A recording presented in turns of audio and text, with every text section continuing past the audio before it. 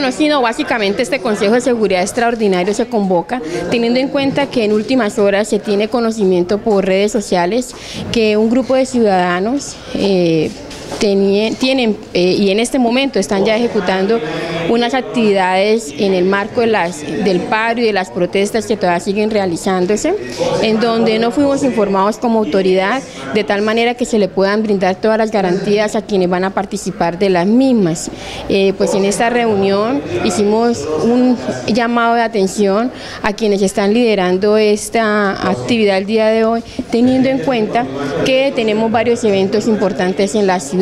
y más allá de eso es que una vez conocido la actividad es eh, la ruta que se tiene establecida. Eh, realmente como autoridad eh, hicimos nuestras advertencias en el sentido de que hoy tenemos un partido